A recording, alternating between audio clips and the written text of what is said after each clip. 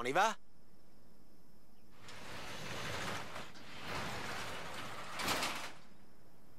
C'est... C'est une Holden Monaro GTS 350 de 1973 Moteur V8 de 5 litres 7 Je... Désolé, c'est trop d'émotion pour un Australien.